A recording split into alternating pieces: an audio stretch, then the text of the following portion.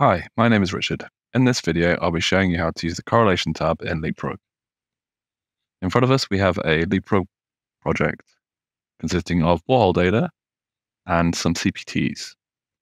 What I'm going to do now is open up the correlation tab in Leapfrog.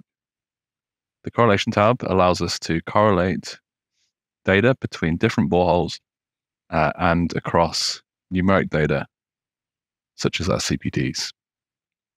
We can add information onto the correlation tab just by dragging and dropping it from the project tree into the tab. We're able to format the data to view it in a variety of ways.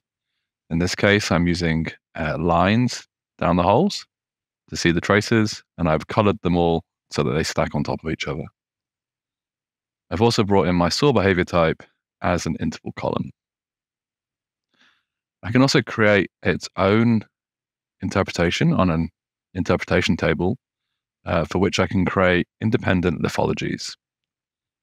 These lithologies I'm just matching with the existing borehole data in the project. Once I've added that data, I'm able to then correlate either between boreholes or from other data that I have within those columns, such as our CPT traces.